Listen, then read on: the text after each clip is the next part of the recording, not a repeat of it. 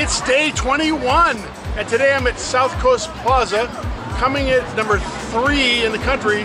South Coast Plaza is the third largest mall after King of Prussia and Mall of America. This is really Rodeo Drive of Orange County, California.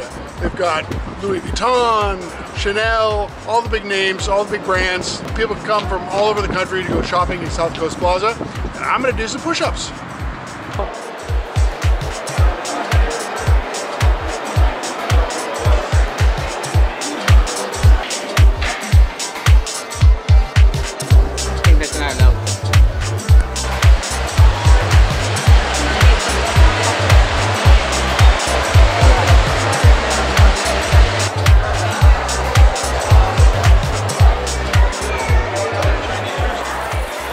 Busiest places in the mall is a restaurant called Din Tai Fung, which in Chinese, I believe, means do push-ups, get free dumplings.